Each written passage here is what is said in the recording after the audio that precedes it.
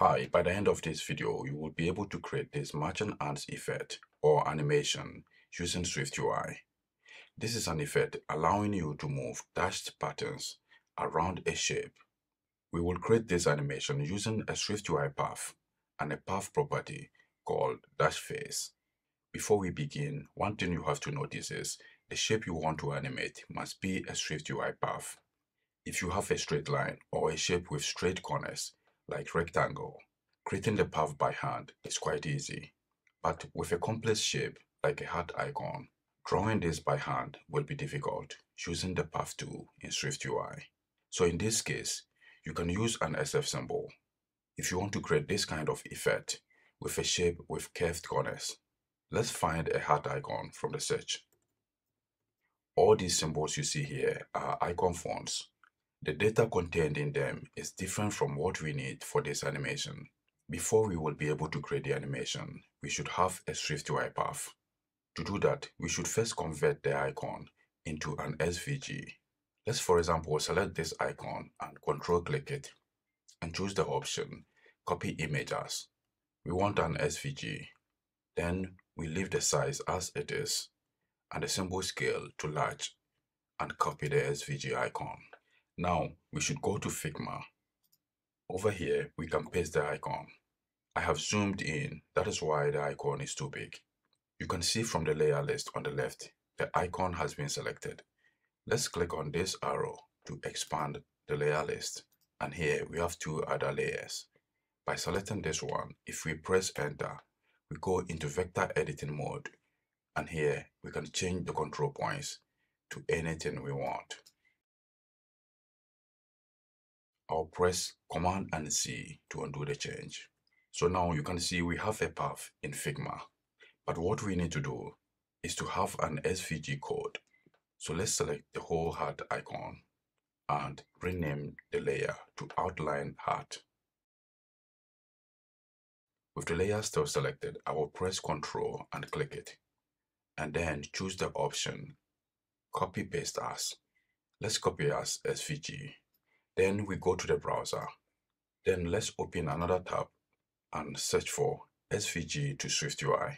This is a tool you can use to convert an SVG to SwiftUI. You can also find the same tool on GitHub. So let's click this link. There is also a link here to open it in the browser or you can use the Figma plugin. The SVG code is still in my clipboard so I can click here and paste it. And now all we need to do is to click the convert button. So over here, it creates a struct that conforms to the shape protocol in Swift. So right from here, we can copy the result and paste it in SwiftUI. I have already done that, so I'm not going to copy it again. So if we go to Xcode, the heart icon we just generated is the same as this one. So this is what we are going to use. I'll still fold the code before we create the animation, I want to show you another way we can get the SVG into a SwiftUI path.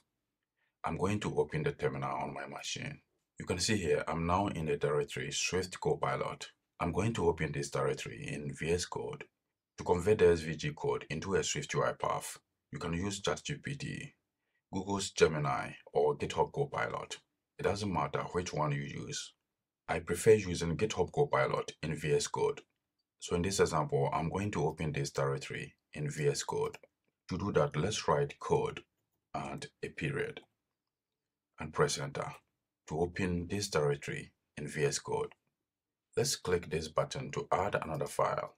We will call it hearticon.svg. This SVG code copied from Figma is still in my clipboard, so let's paste it here and press Command A to select everything then we go to the search and click it. We choose the option Open Quick Chat to open GitHub Copilot. Then we should give the prompt convert the selected code into a SwiftUI path and click this button. So it is now generating the code. Let's wait for a moment.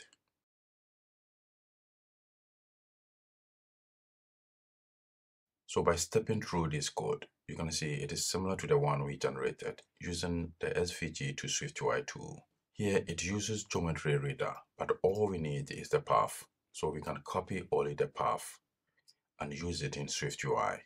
Since this is just an alternative to what we did previously, we are not going to use this code. So let's go back to Xcode. So that is the struct defined over here.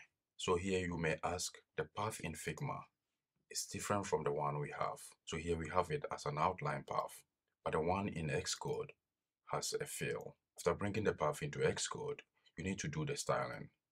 So here our path does not have any style. We don't need to see all this code, so I will press Option, Command, and left arrow to fold it and focus only on the heart icon view.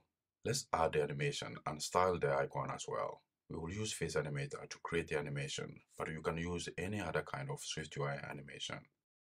With PhaseAnimator, we should define some steps for the animation to go through. So let's use an array because we have only two steps, true and false.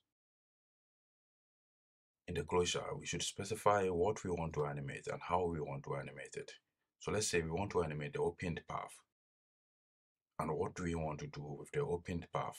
We want to move the opened path around the shape. That makes the heart icon disappears, but don't worry, we will bring it back soon. So in the closure, we will add the heart icon again. So you can see here, we have a filled heart icon. Let's add the stroke modifier to style it. So we have applied the stroke modifier with all these properties, line width, line cap, and others. The array for the dash property determines the gap between the dashes. Then you can see we are animating the dashPhase using the animation variable we defined here. So we are changing the dashPhase from a value of minus 100 to 225. With that, we get this repeating and back and forth animation. Let's also resize the heart icon by applying the frame modifier. So we can give it a width of 64 and a height of 64. For the purpose of demonstration, let's make it a little bit bigger. For example, 128. Next, we can apply a gradient to the symbol. So here we have a linear gradient with the colors defined over here.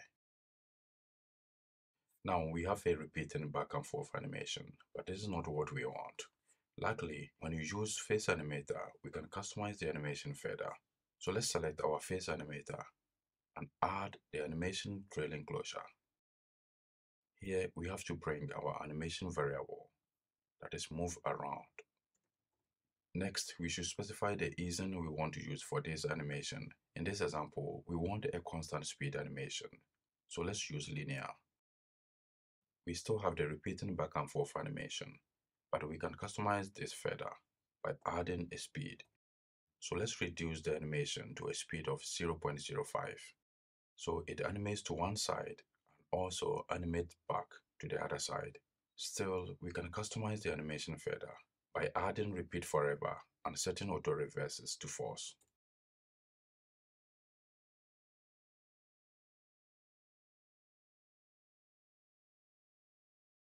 With this, we are going to end here. We now know how to create a smooth and ants effect here inside SwiftUI using the dashPhase property of a path. Thanks for watching this video.